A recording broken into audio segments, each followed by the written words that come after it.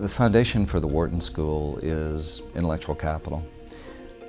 And most simply, it's recruiting the most brilliant faculty, bringing in the most brilliant students, and hiring the most brilliant staff.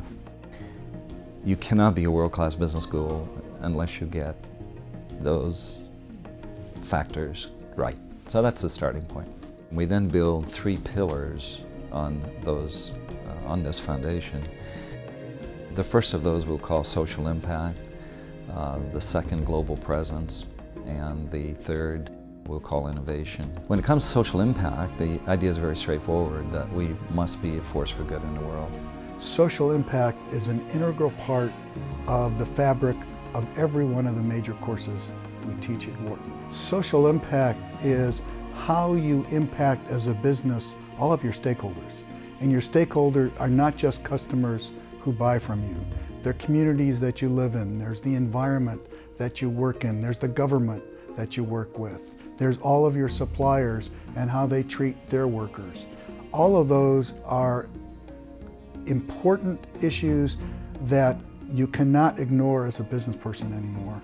And if you're really knowledgeable about those issues and understand that there are trade-offs involved and that the long-term value of your company to your shareholders depends on how well you understand and respond to all of these stakeholders is, is crucial. We are a global business school.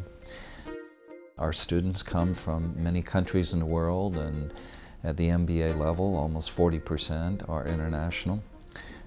About 35% of our faculty is international, and uh, our curriculum and the kind of courses we offer must be international.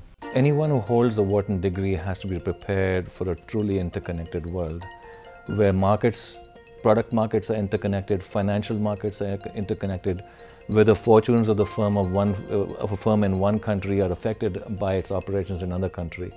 They have to be prepared for that and they have to understand systematic ways of thinking about that.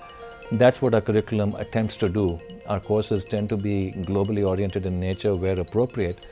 But most importantly, we also want our students to have immersion experiences in different parts of the world because that's a different kind of learning. That's not classroom learning that is in the field. You learn about local customs, local ways of doing business. The third pillar is, is innovation. Um, and again, we've institutionalized this recently. The Innovation Initiative at Wharton is essentially an investment in some centralized resources for stimulating innovation at the school. Uh, innovation is particularly important right now because business schools face two major disruptions.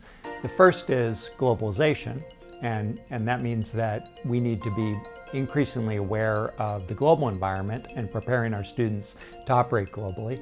And the second is major developments in information technology, which present both threats and opportunities. I think you could argue that all advantage in business is the result of innovation.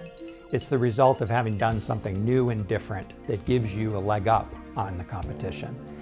One of the things that's critically important for our students is that they can lead that innovation in the organizations where they work.